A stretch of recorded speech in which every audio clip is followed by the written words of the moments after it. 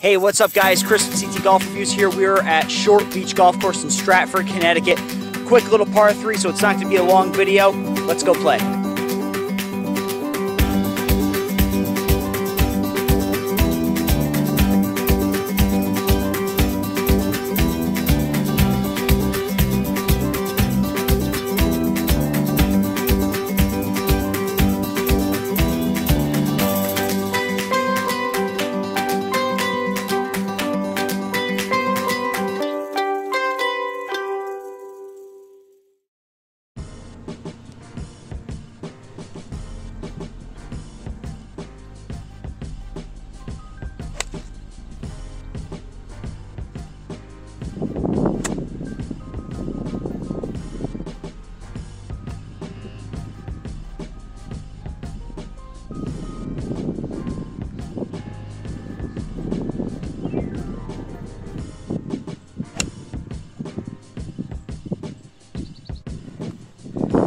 One thing I didn't really want to do today was walk the course.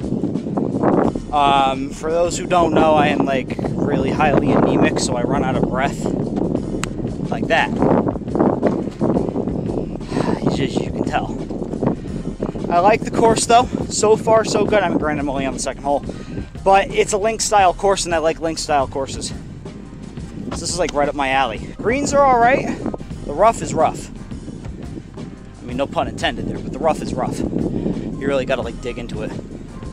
Kind of reminds me of the player's course. Now, where did I put my ball? There it is. Not sure if you guys are going to be able to see it, but that is a pretty sweet hill. If I make this putt, it'll be a freaking miracle.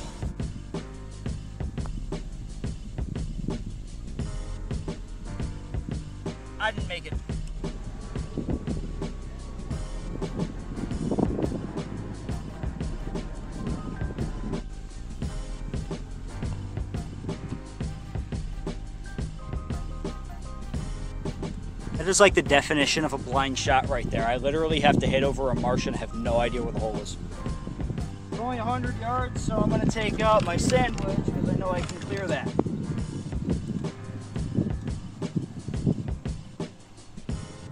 This wind is heavy too. I heard a thud, but I don't know where it landed.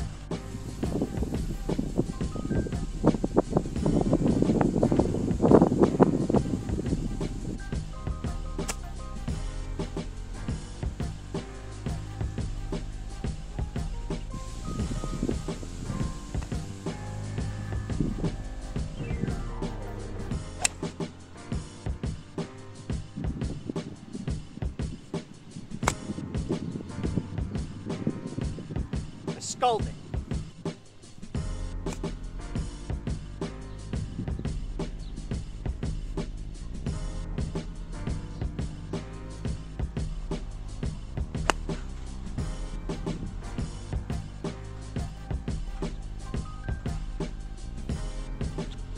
I scold it and it rolled onto the green.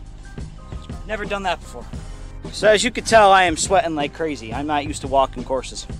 So far, good experience. I'm not gonna I'm not gonna say it's a bad experience. I have I'm having a good time. Uh, the course is a very very beginner course. I could tell you that right now.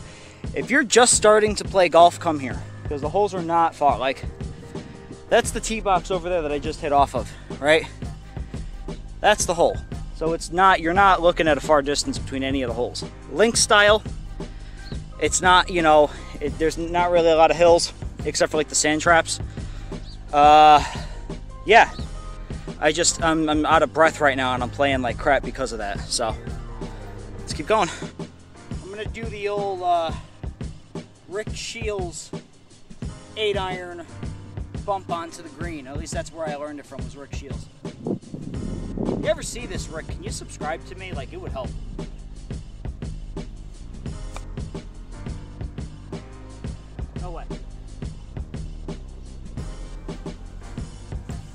Going to be an easy par.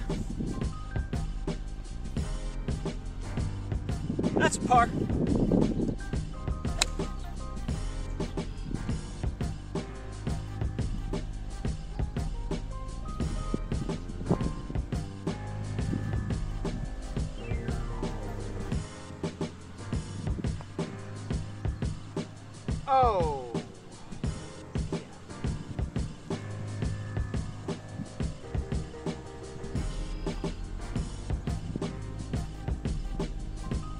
So, I don't want to be that guy, but this is a review channel and I have to be honest. That is a turnoff. Um, like these little like indents right here. My ball landed in that and just messed my putt up. Uh, I don't like that too much. That's, yeah. I don't like that.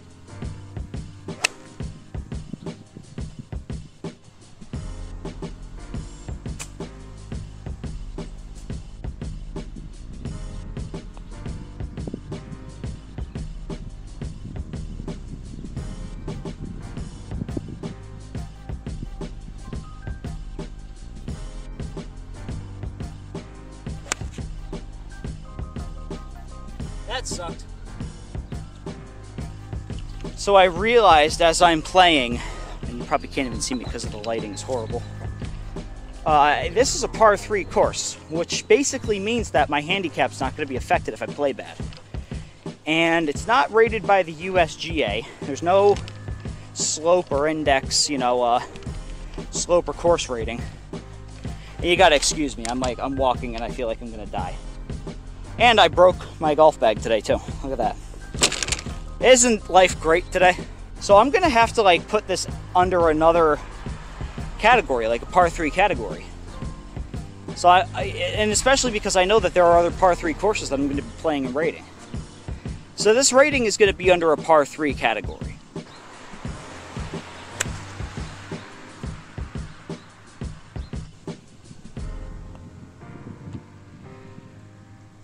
All right, guys, that wraps it up for Short Beach and Stratford. Let's get back to the house and do the review. All right, so let's get into the review of Short Beach Golf Course. First and foremost, I want to say I apologize for having to do these videos at night. This is the only time I've really had in the past couple of days, and I played the course three days ago. Let's get into it.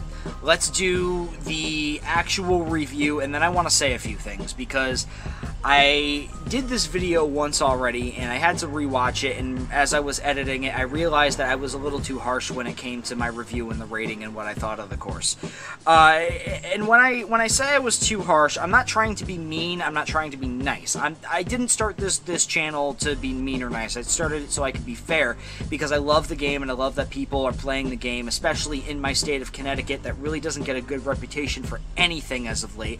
I want people to know that we at least have something really cool that you can do in you know the state. So that way you know if you want to play golf or if you're planning your weekend you can go and check out my videos and see the course in action. Maybe you've never played there before maybe you have and you just want to see what other people think of it. That's basically the point of the channel. With that being said i do have a few things i need to get off of my chest and say about this golf course because i feel like it needs to be said by somebody who doesn't play there regularly. Difficulty and scenery are going to both be a 3 layout and staff are going to be a 4. Difficulty and scenery kind of play into each other. It is a very flat link style course that I am almost I would willing to bet on the fact that when they were building the park, they had to flip a coin. It was either heads as a golf course or tails as a soccer field, and it landed on golf course because it's small enough to where it could fit two full size soccer fields in there, but it's big enough to where it can fit two full-size soccer fields in there. That's basically what I'm saying. It could have been soccer fields, but there's a baseball field, there's a softball field, there's a skate park, there's a playground, and, and then there's actual short beach, which is along the uh, the other side of the parking lot, and then it kind of surrounds itself by a neighborhood, and then there's the Sikorsky Airport, which kind of disappointed me because I love airplanes and uh, I didn't get to see a single one take off or land while I was there.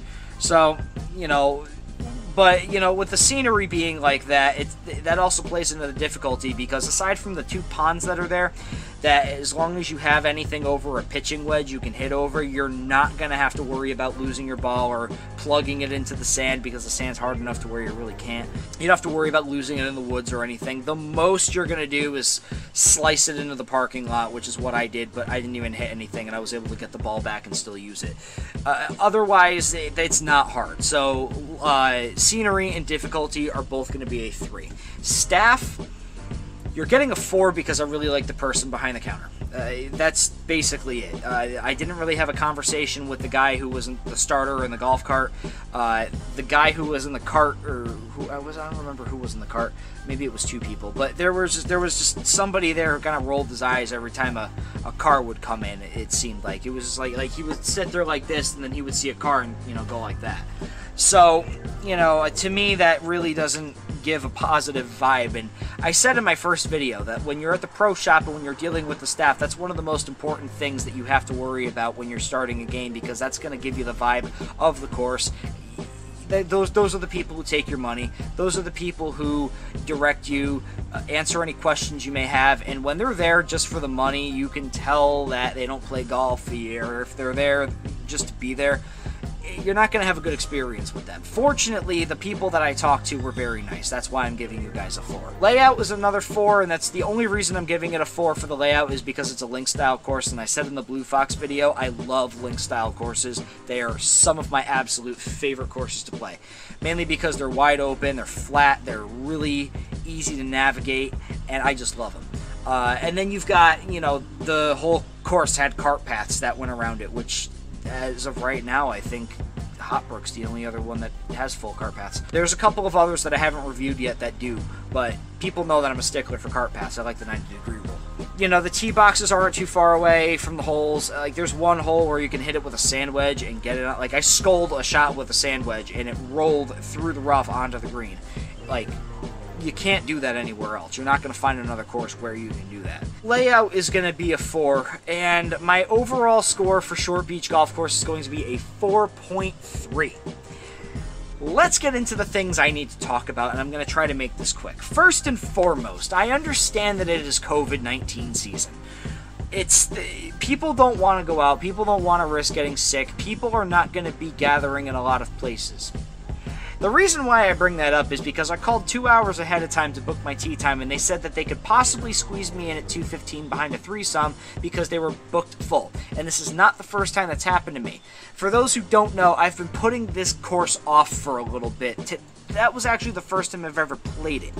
There are some courses in this review channel that I've never played. For example, uh, Norwich, I never played before so that was the first time ever reviewing that that uh, that course, and that was the first time me playing it. I've played Hop Brook plenty of times. I've played Farmingbury plenty of times. I've played Woodhaven's my home course.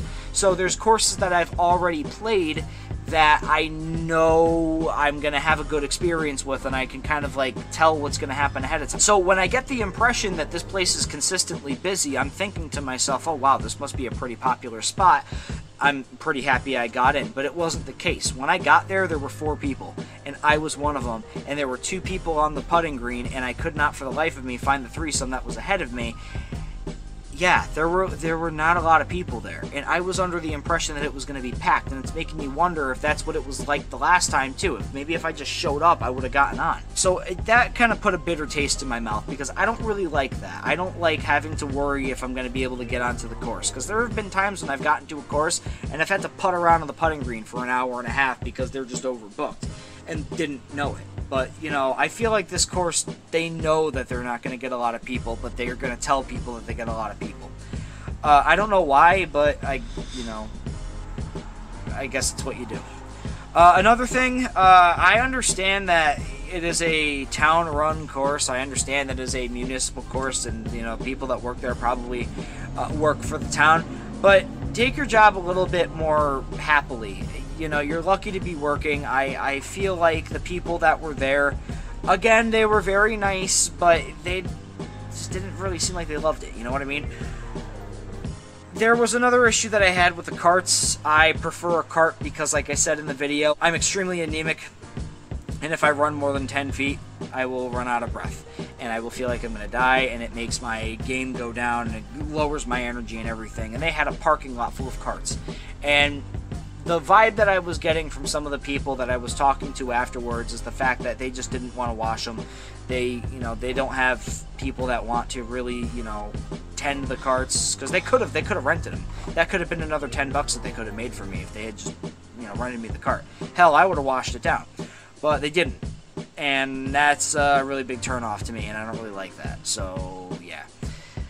The green that I showed you that was in rough shape, that was really the only one, but I feel like that being left like that could possibly mean that they don't really want to take care of anything else on the course. It was really wet. I understand why there, it's a marshy area in certain spots, and there's the beach right there. It didn't rain or anything, but I feel like the rough could have been taken care of a little bit more, at least evened out. The approach to the greens, they were okay. The sand traps were hard. They were not the easiest to get out of. And you could tell that they've been kind of been sitting there for a while. You know, there's rocks and stuff. I found bottle caps thrown in one of them. So it's like, you know, they don't really go around and clean the course thoroughly like they should. I'm going to say this right now. I did not have the worst experience there. I actually did thoroughly enjoy myself. Uh, yeah, I, I love the game. I, I, I, love playing the game regardless of where I'm playing, but there's things like that that will turn me off. It's not the worst course I've ever played. It's not the best course I've ever played, but at the same time, it's also not a course I'll voluntarily go back to. I mean, like, if it was the last course on Earth, of course I'll go and play there, but I know better par 3s. And let's say one more thing, too, before I cut this out. This is a par 3 course. For all I know, maybe a 4.3 is a good rating for a par 3, and I, I have to consider that when I rate par 3 courses. So, after saying all of that, Short Beach, great for beginners great for people who just want to putz around on a course. I wouldn't recommend it for the pros. I wouldn't recommend it for the people who are really trying to up their game and take it seriously. At the same time, it's not the worst place in the world. Guys, I'm Chris with CT Golf Reviews. I hope you enjoyed the video. Thanks.